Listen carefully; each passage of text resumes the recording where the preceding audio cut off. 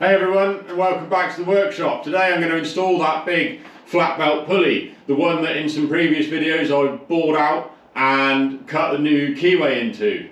But first I've got to make the gib key that's going to lock it to the shaft and that is going to begin in the forge where we make the blank. The first step is to break down the stock into a more useful size. This piece is about 3 quarter inch round and actually an old hinge pin from an access platform.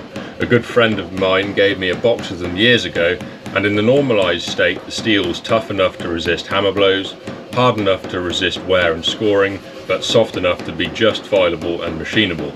It's probably an EN8 grade or something similar.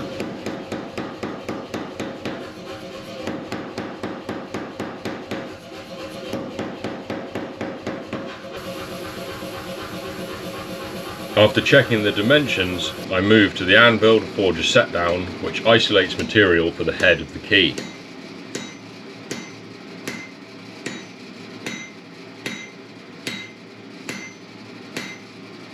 I'm forging this part for a couple of reasons. The first being that a forged part is always stronger, but also because my shop is much more geared towards forging and my old machines and tooling aren't going to stand up well to hogging off a lot of this tough steel.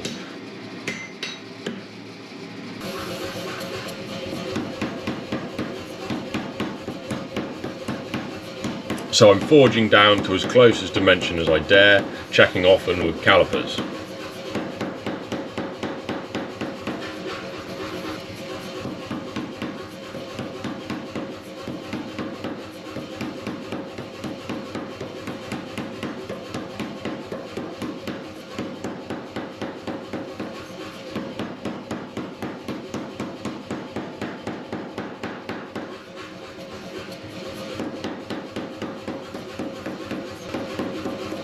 Set down by the head is neatened and squared up with a set tool and the body of the key brought to the final size.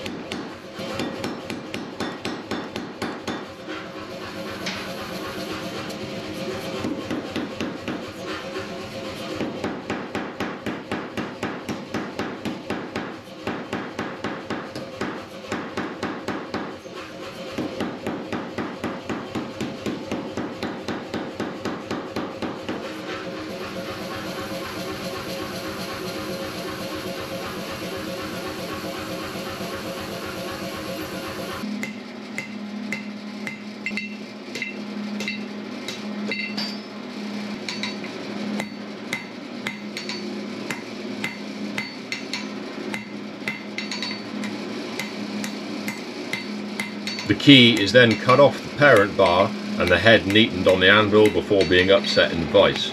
This further defines the head of the key, squaring up the corners and forging a chamfer on the striking end.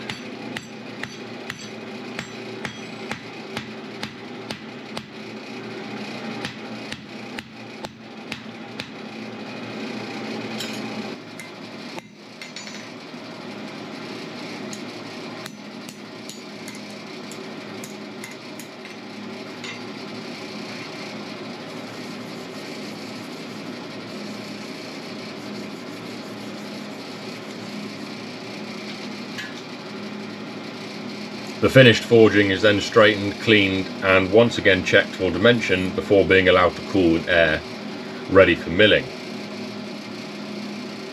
But first we need to head to the job site to fit the pulley on the shaft and create the key seat. The pulley needs to sit in a very specific place on the shaft in between two beams in the ceiling. So I first mark out where the edges of the rim will be and use those marks to mark out where the hub will sit. I can then lay out where the key seat needs to be.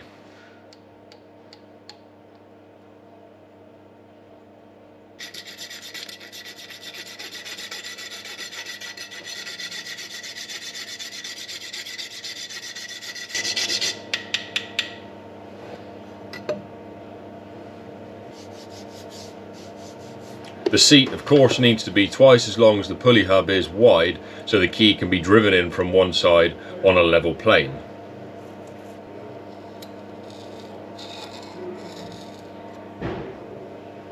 I used the forging blank to mark out the seat roughly before removing the bulk of the material from the shaft with a grinder.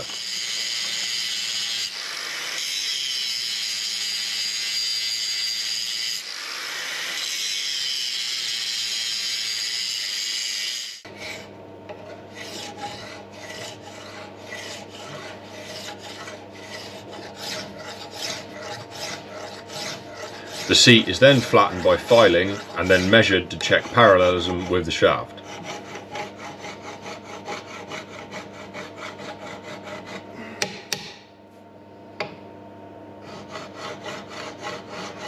I measure the seat every three quarter inch or so and note the measurement in thousandths above a round number on the mic.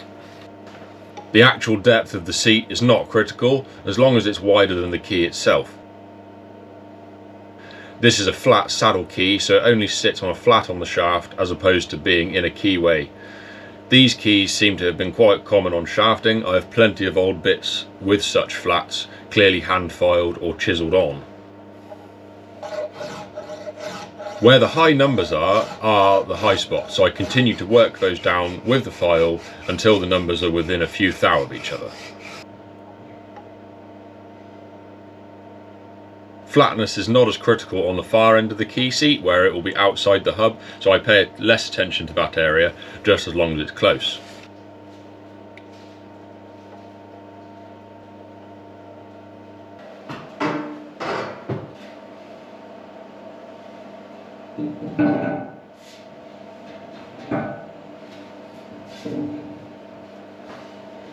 With the key seat established, it's time to fit the pulley in position. This is where these wrought iron split pulleys really come into their own, lightweight and easy to install onto existing shafting.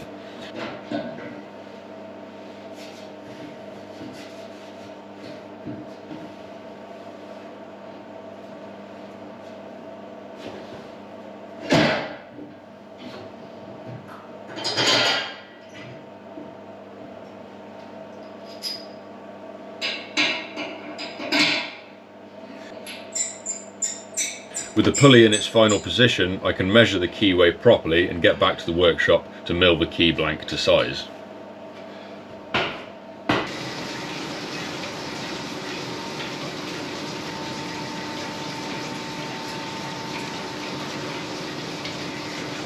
The key is machined on my 1910s Denby Universal Horizontal Mill with a vertical attachment fitted. I'm taking light cuts due to the tough material and starting by machining one side for my reference surface.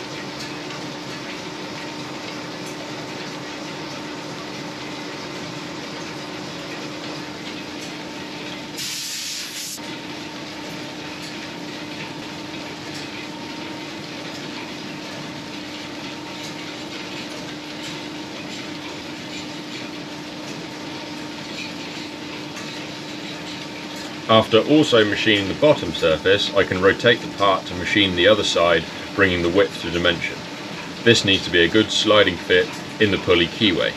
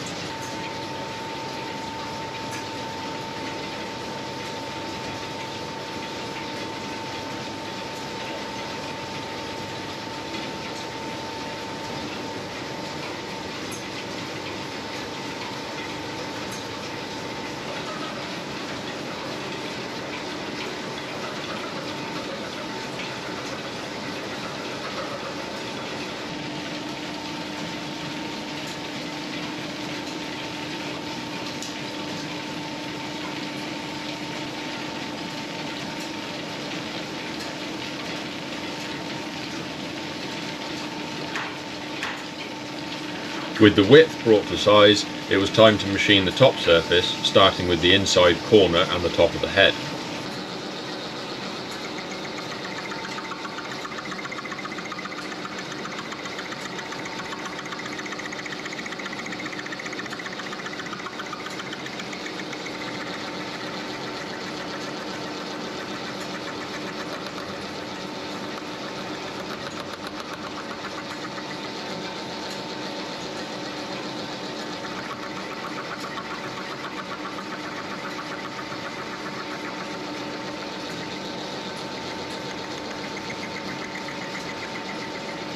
This tough steel was starting to take its toll on my slot drill, so I gave it a fresh edge on the grindstone.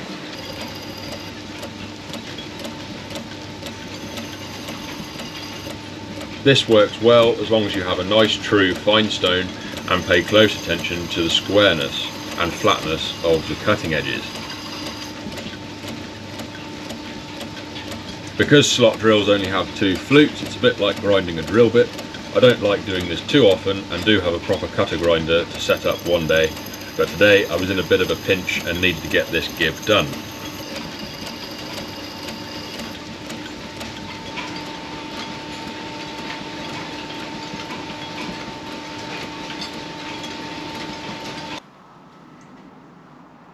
To ensure the top surface of the key is tapered, I'm placing a small piece of shim stock under the leading end.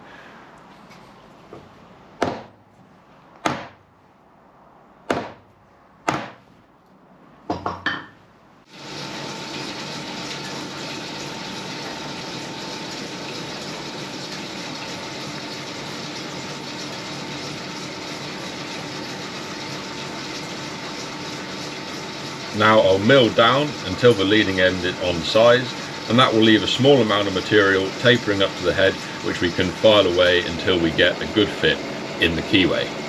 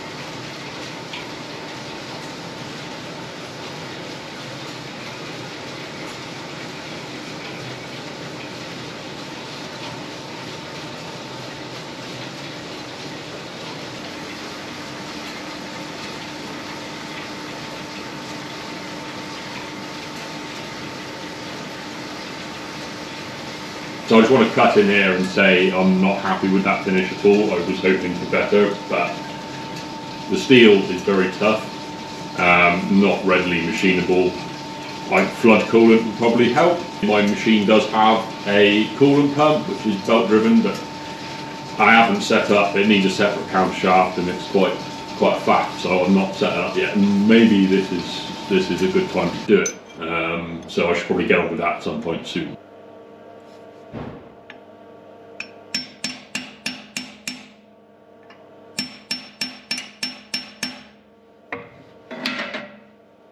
Fitting the key is a bit of a drawn out process involving bluing up the top surface of the key, tapping it in until it starts to bind, removing it, working down the high spots with a file, bluing again and repeating.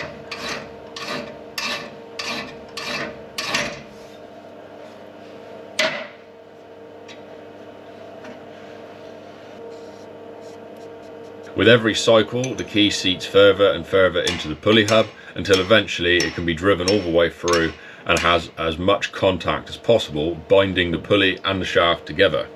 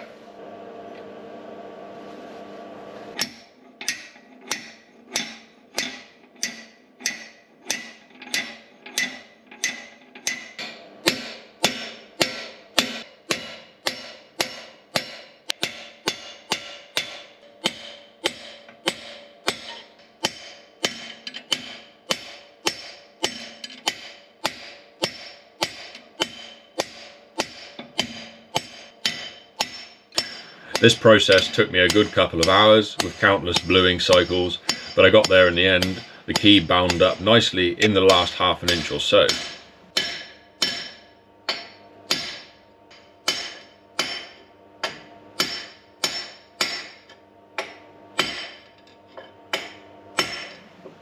There's a bit more work to be done to this system before it can be operational, but I hope you enjoyed this process and I will see you in the next video. Successfully keyed.